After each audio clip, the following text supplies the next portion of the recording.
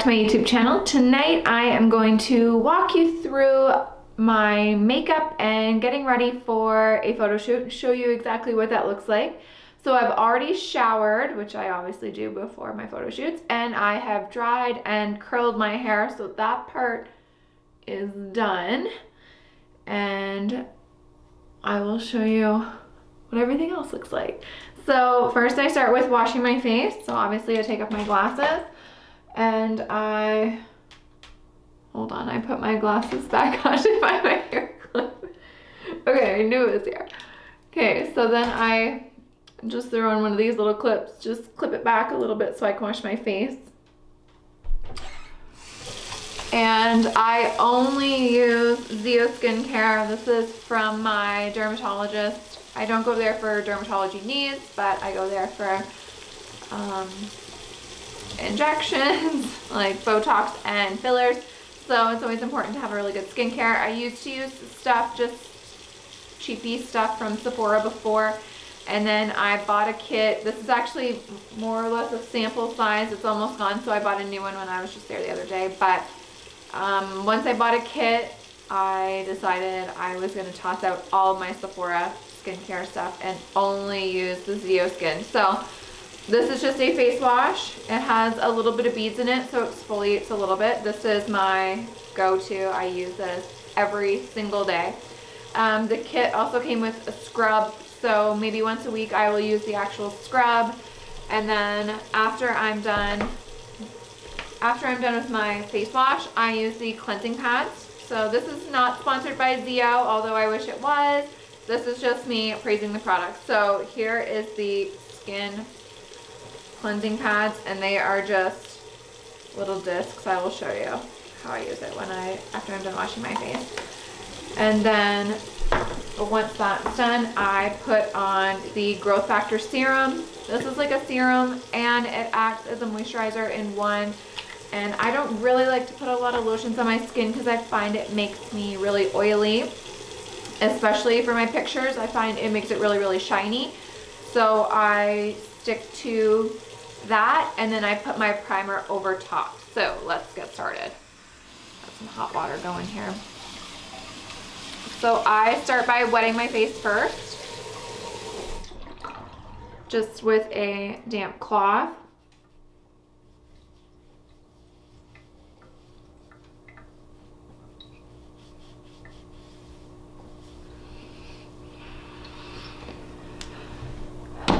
And then you really only need a teeny weeny bit of this, like this small amount of product goes so far. So you can see that it has a little bit of beads in it. it also has some white ones in there that you can't really, hold on, maybe you can see. Can see. And I just scrub it around. If I'm feeling like my face is a little bit too dry, I just grab a little bit more water on my fingertips and continue to rub in. So I just had injections done on, what did I go? Wednesday? I think I just had them on Wednesday? Tuesday. No, I went to Lucerne on Tuesday. So I just went in for injections on Tuesday, so my face is still a little bit tender, so I just rub a little bit gentler. And then I get some more hot water on my cloth. And I usually will just take it and kind of rub it around one more time, not really rinsing it off, just kind of giving it a little bit of a one over scrub. Ooh, my chin is still pretty tender. And then I just get a fresh part and wash it all off.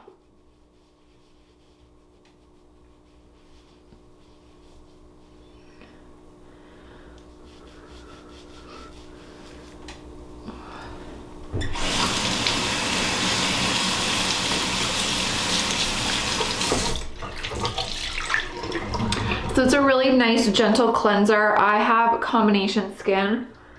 So I will have dry spots and oily spots at the same time. Um, and then, but I really, really like this. Like I said, I've tried uh, quite a few others. And I thought I was loving the Ole Henriksen from Sephora until I tried the ZO skincare and then I didn't even look back. So I just kind of let this air dry a little bit. Now that everything is all washed off, feels really nice and clean. And then I grab a cleansing pad. So these come in 30 pads, but I actually don't really use them every single time. Um, I just don't really feel like I need to but I will this time because it's been a little bit. So I maybe use them only once a week, maybe less than that. Really, they're kind of just as needed because my skin, I don't really get breakouts. I just have kind of that combination skin. So I don't need, I don't feel like I need all this extra skincare stuff on there. So I just wipe it with the pad and then this is disposable. You just toss it out one-time use and then that's done. So as you see, my skin is a little bit pink from the scrubbing and I will just pump it. So I just pump maybe about this much. You just push the thing down and it pumps out and then you can rub it in. It feels so nice and it smells really, really good. It's not a super strong smell. It's just like a nice subtle smell. And so I just rub it all over. And this kind of acts as a base for my makeup because it's really nice and moisturizing. So I find it helps my makeup go on smoother so it's not so cakey because I hate cakey makeup. Okay, so that is all smoothed in. That's it, one little pump was all it took. I've been using this same same growth factor serum since April. So a little goes a long way and same with um, the cleanser. Been using this since April. So as you can see, it's almost empty. It's not quite there. And if I had the bag close, I would grab it. But the full size product that doesn't come in the kit that you buy individually, it's huge. It'll probably last me for the rest of my life. No joke. Um, yeah, so I just let this soak in for a minute. And it doesn't take long for the redness to kind of subside.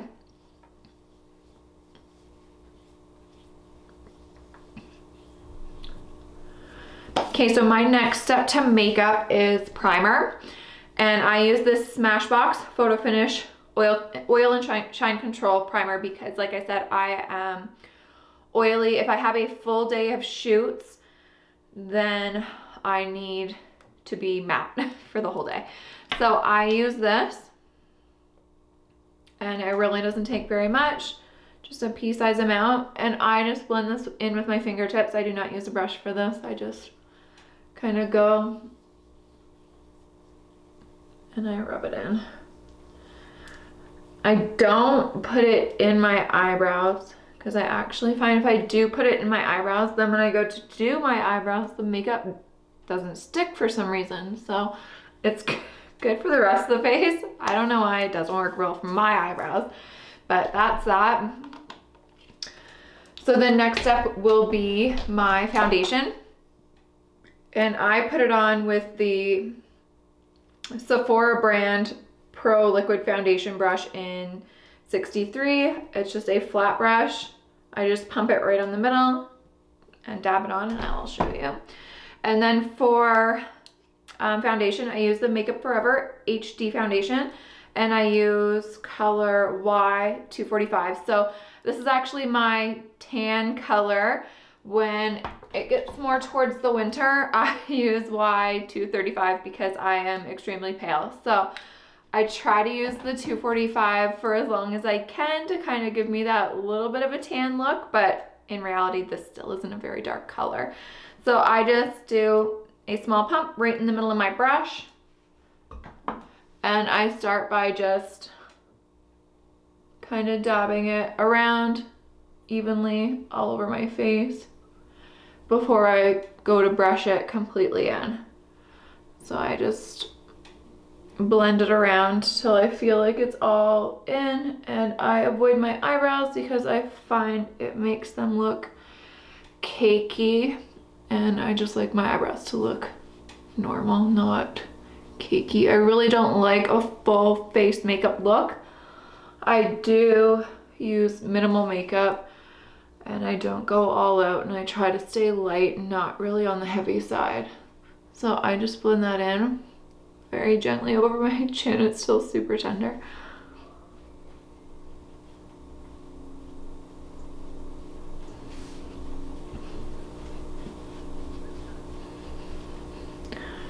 Okay, so that's that. So it's all blended in. And then next up, I will come in with my bronzer to do a little bit of contouring. I used to use this Fenty Beauty Match Stix. So I still do use it to contour my nose, but I find that where I don't put very much makeup, if I go in to do my cheeks with it, I'll have like a pretty harsh line. Like it just doesn't really blend well for me. So I only use this on my nose and I actually use a powder highlighter or sorry, powder bronzer to contour everything else. So this is the Bahama Mama. I've had this thing for probably literally like 10 years. it's still good to go. So I just keep using it. So I dab on one side to kind of give me a little bit of a, like a straight edge. And I just go along my cheekbone on one side. And then again, I dab only on half my brush. And I come in on the other side.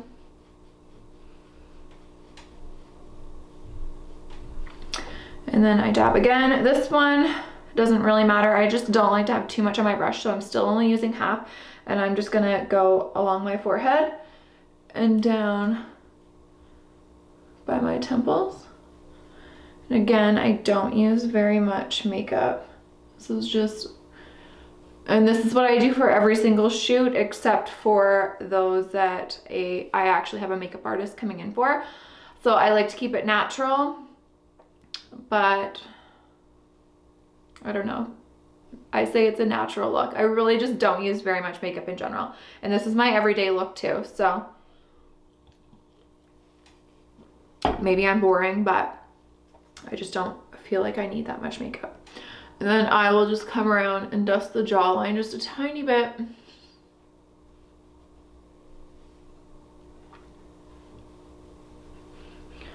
And we will just kind of go over. So down, cheekbone, down, jaw. And now we will work at the nose.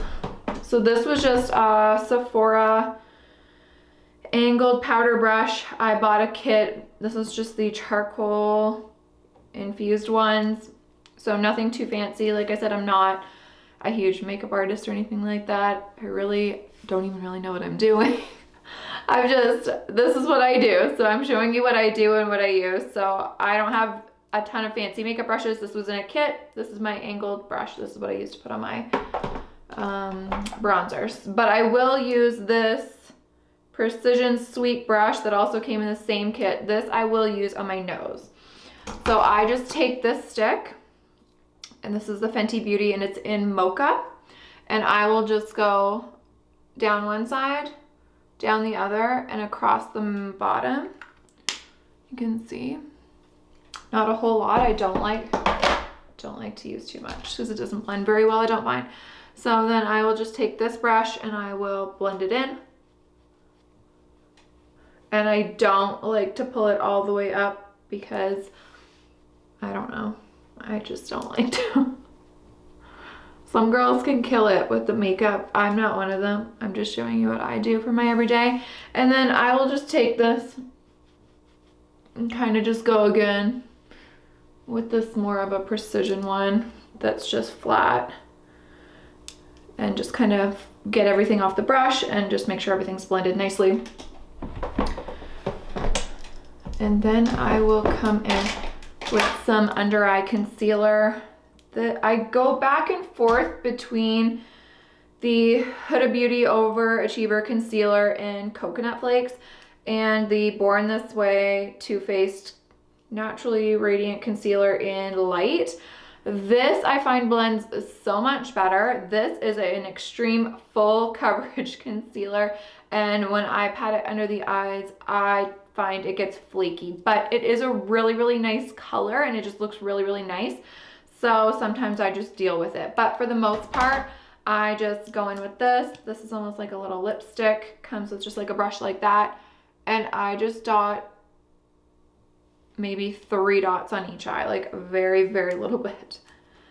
And then to blend that to make sure that it goes nicely, I use my Beauty Blender and I use it on the fat side and I'll show you why because I use the other side for something different. And then I just spritz it with my Photo Finish priming water just to kind of dampen the sponge a little bit. And I find it just really helps this blend in really good. Sorry, I don't have my glasses on. I'm gonna have to use a little mirror. And I just pat it in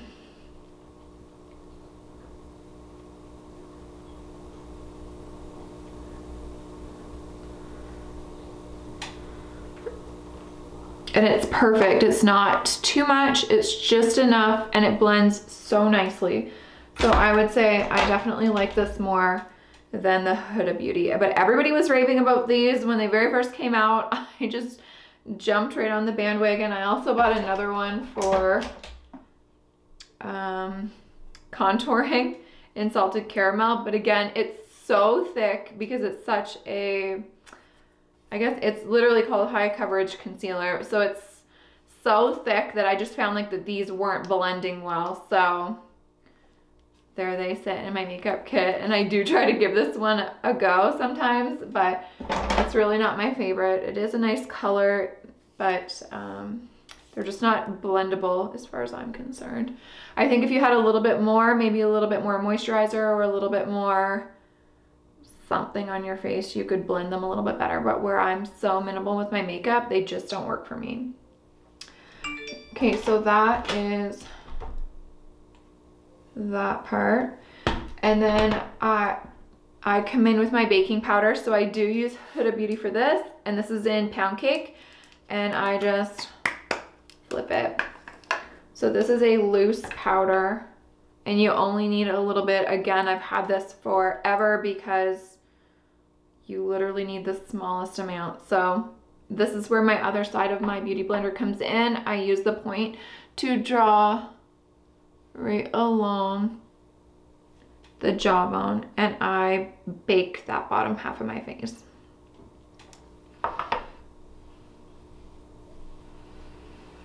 And then I also dab a little tiny bit and I go down each side of my nose and underneath my eye. Just like that.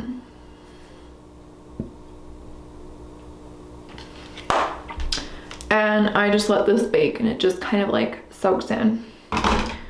And then once, once I let it sit for maybe, I don't know, maybe like two minutes, I go and do my brows while I'm waiting on this and then I just dust away the excess.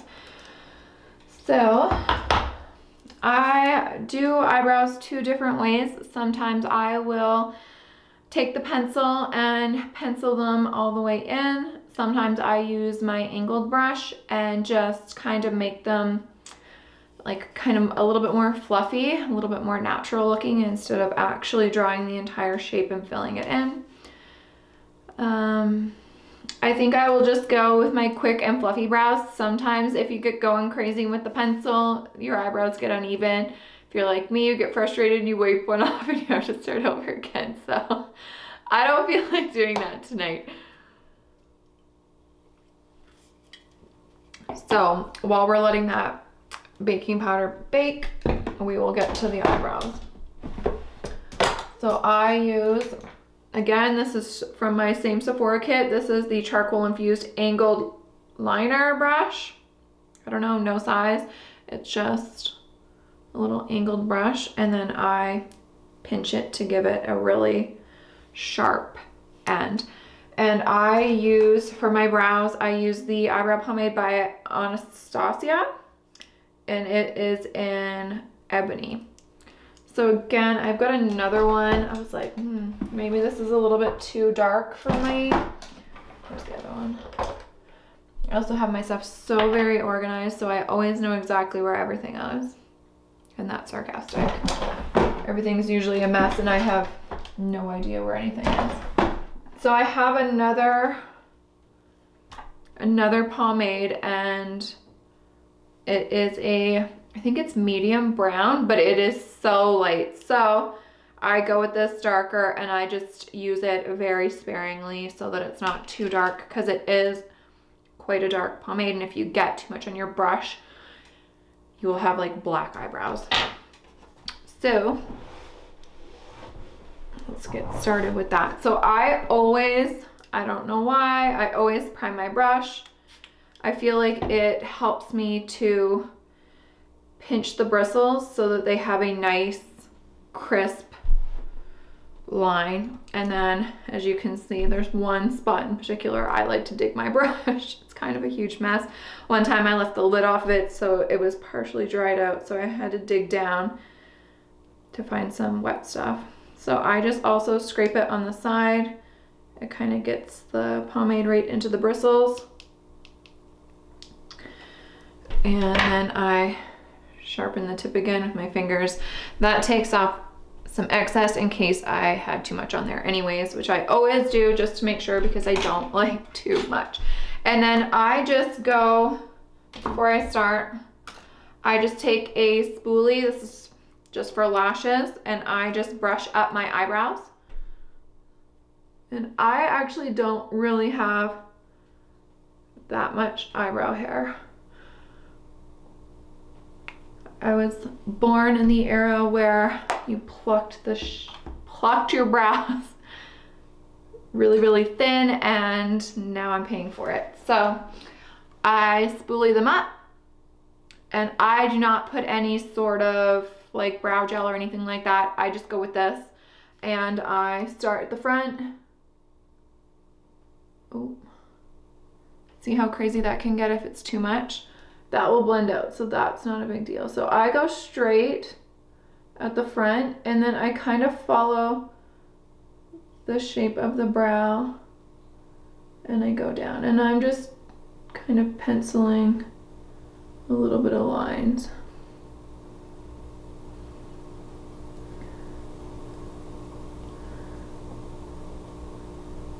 And it's always better and easier to grab more than it is to try and wipe it off. So if you need a little more, I just go and grab some off the side because I've already rubbed some extra on there.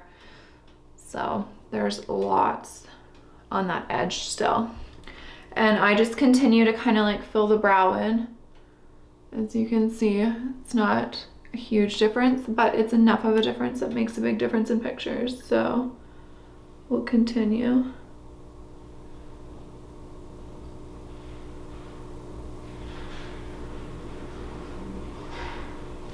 There, okay, so one done, one not done. And then we will move over to the other side. Again, I start at the front, work my way back. This eyebrow has a little bit more hair even though it has more hair, this is my other side and I'm left-handed. So this is my harder eyebrow, believe it or not. Sometimes this one turns out amazing and sometimes I'm like, what the heck happened to that eyebrow? So let's start in the middle. We just work our way up. And we will go back.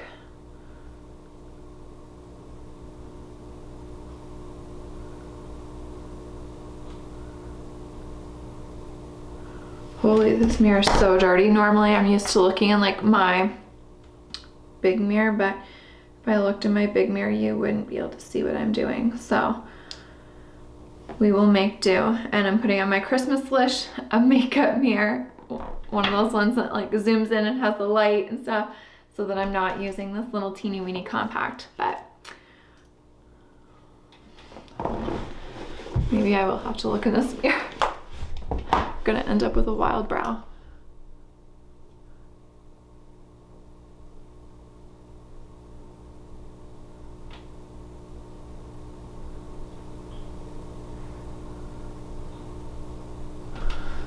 Okay. So this one got a chunk in it. And if that happens, see it right there. It's no big deal. I just grab a Q-tip and kind of like just blend it out a little bit. So you do not have to start over.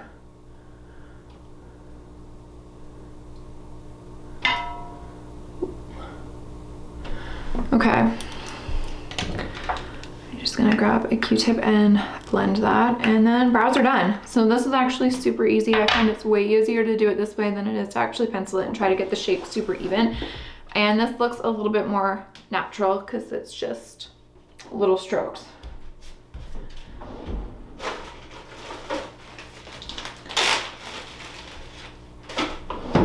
Okay.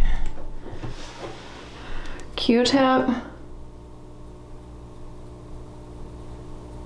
And just blend it in a little bit like it never happened. Okay, so now that brows are done, I actually just take my fluffy brush again. I only have one because I'm not really, I don't have that many makeup brushes. Like I said, one kit. So I blend in where I'm baking and I dust off the excess. Sometimes I do it a little bit in my T-zone where I'm extra oily. This will help absorb some of the oil. And then I come in for my eyeshadow. And again, two brushes, same kit. One is the shadow brush. The other one is the angled concealer brush, which is definitely not meant for eyes, but I use it anyway. It works great. And I always use my Too Faced Just Peachy palette. These are in mattes because I actually don't like shimmer on my face much. And I'm gonna contradict that in a second when I put some highlighter on, but I just don't really like a bunch of shiny stuff. So this was a perfect palette for me. I do have the Naked 3 palette that I was using before, but I found where some of them had shimmer in them, I was only using like a teeny weeny bit of the colors. So I grabbed some cho chocolate dipped down here, my darkest color and I just dust right under my eye. Back in the day, we used to use uh, black highlighter. Now we like it to look a little bit more smudged, so that's perfect. And I'm totally good with that. So I just dust a little bit under each eye.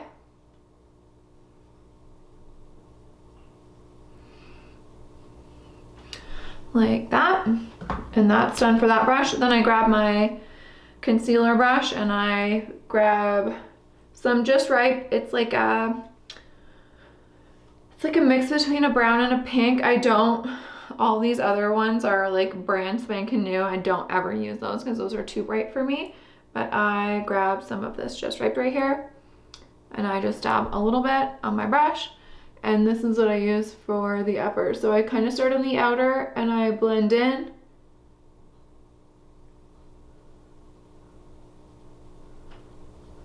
and I just go back and forth in the crease. So this is my crease color. Then I dab and I get a little bit for the other side and I do the same thing. Start from the outer and blend over.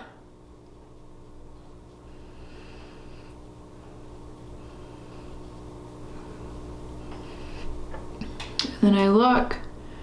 That's literally it. Like I really don't use very much. And then sometimes I'll grab either peach butter or peach meringue, one of these two lighter colors. We'll do peach butter today where it's lighter and then I just pat it on the lid.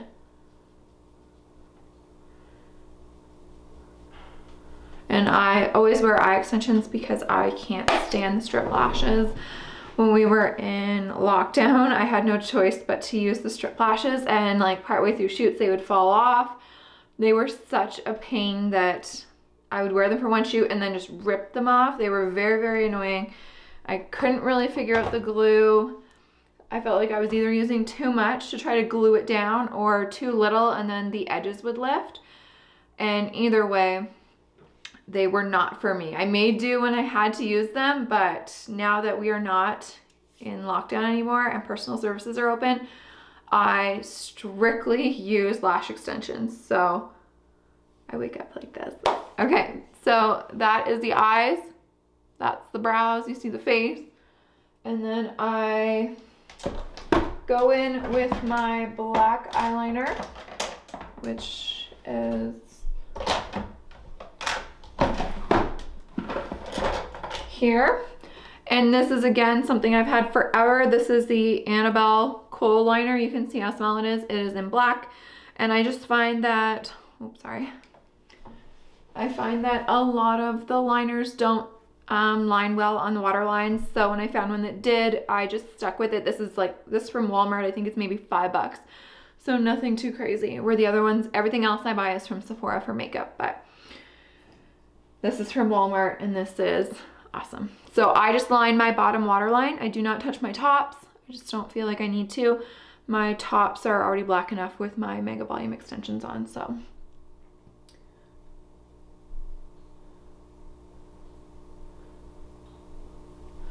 I just line and then I go in, we're almost at the end, with this Smashbox. It's a, it's called Spotlight Palette in Pearl and it has three highlighters on it so you can pick which one you want. I use the first one, it's called Turn It On Pearl, maybe. Maybe it's called Blow a Fuse Pearl. I don't know which one. Either way, I just take a little bit on my finger and I pat it right on my cheekbone. And then I get a little more and I do the other side. Again, right on my cheekbone. And then I usually just take the excess. Sometimes I will dab just a teeny weeny bit more. I do the tip of my, tip, my nose and up just a little tiny bit.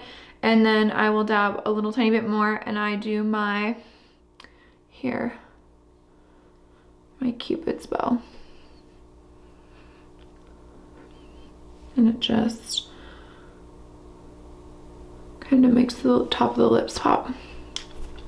Okay, so there's that. And then I never use lipstick because I find with this weather it's just too dry and I will get chapped lips and then it cracks and then the lipstick is on there and it just looks awful. So I live by this stuff. I cannot leave the house without this. I have probably 10 of them kicking around.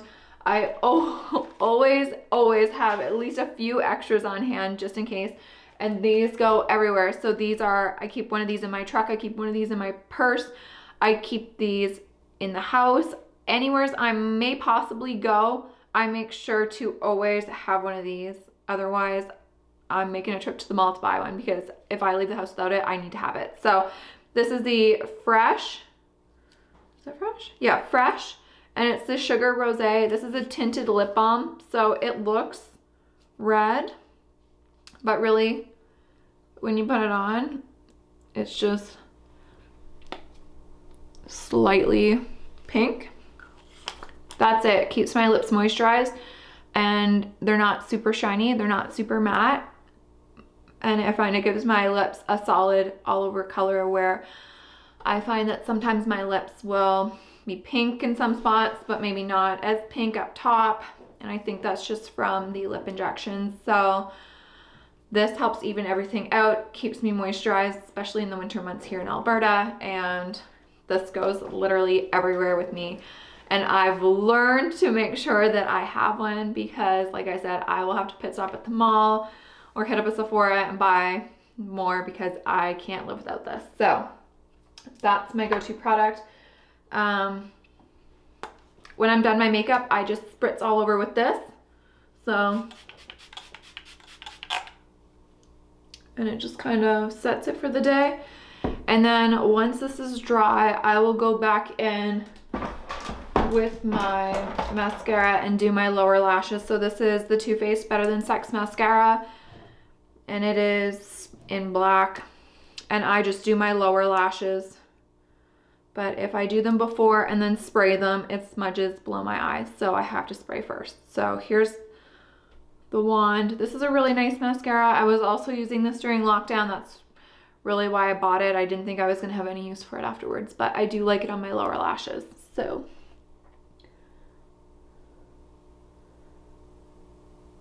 I just put a tiny bit just to finish the eyes. And that's it. So we are ready for photo shoots for the day. And if I absolutely need to, I will throw this in my bag. This is just a compact. It is Make Up For Ever and it is a micro finishing pressed powder. So if I find that I am getting oily, especially in my T-zone here, I have this white powder in my bag and I will just dust some on to kind of soak up some of that oil. But besides that, I am good to go. And this is my photo shoot and everyday look because I'm kind of plain and boring, but here we go. What do you think? Let me know down below. This is a long makeup tutorial. I was not expecting it to be this long. I didn't think I had this much to say, but okay. So thanks so much for watching. Don't forget to like and subscribe to my channel. And you can also find me on Instagram at Krista underscore T and also on OnlyFans at Krista underscore T. And both of those will be linked down below. And I will see you in my next video. I've got um, some swimsuit try on try-ons coming up next, so stay tuned for that and I will see you soon.